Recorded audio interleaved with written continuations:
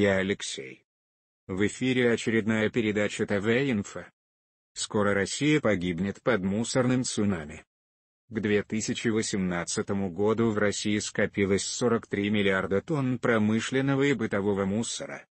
Мусором завалено все, площадки для мусорных контейнеров в жилых кварталах, остановки транспорта, обочины автомобильных и железных дорог, лес, берега рек и озер, дачные поселки.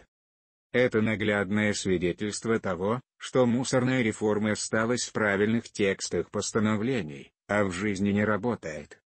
Мы не заметили, как завалили мусором все вокруг себя. Только поранив осколком разбитой бутылки ногу, на берегу дикой речушки, или нагнувшись за белым грибом в сибирской тайге и, обнаружив рядом пластиковую пивную бутылку, мы замечаем, как загажена наша Родина. Загрязнение окружающей среды бытовыми и промышленными отходами угрожает здоровью и жизни. Возникают неведомые ранее инфекционные заболевания, появляются новые болезнетворные вирусы и бактерии.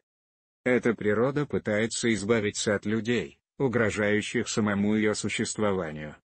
Прошло два года с того момента, как в России началась мусорная реформа. За это время ничего не изменилось. К такому выводу пришли аудиторы счетной палаты. Почему?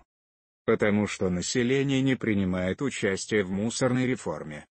Логика обывателя проста, раз я плачу за вывоз мусора, то не стану тратить время силы на его сортировку. Зачем я буду захламлять мусором мою маленькую квартиру? К тому же, мне неудобно нести большие пакеты с пластмассой с моего 24 этажа в какие-то там контейнеры во дворе, расположенные далеко и неудобно. И все же. Давайте подумаем.